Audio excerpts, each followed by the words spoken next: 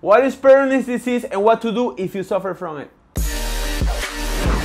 Hi guys, Yaya here and today let's talk about a common penis condition uh, that many men suffer and it's called Peyronie's disease.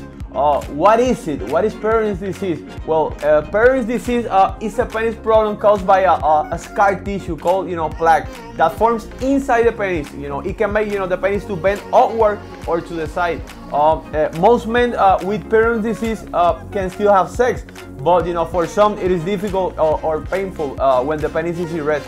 What causes this condition? Well, many researchers uh, believe that the plaque can start after a trauma by hitting or bending the penis. Uh, this can cause, you know, bleeding inside the penis, and you might not, you know, not even notice the injury or trauma. Also, there are other studies that suggest that genes may be involved.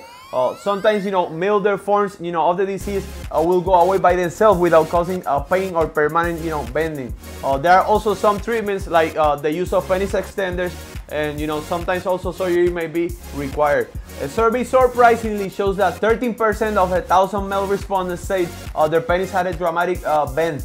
Well, guys, this is a very very serious condition you know and you should always you know consult with, with a doctor and as i said you know in some cases it may fade away with time and also you know in some cases it is even normal you know that your penis have a, some kind of bend you know degree as part of our you know aging process uh, and if this is something you need help with you know don't feel alone you should you know know there are also you know treatments you know to correct it so that's it for today. Uh, please continue sending comments, you know, and questions uh, right here in the comment section down below. And thank you so much for watching. Don't forget to subscribe and have an excellent day.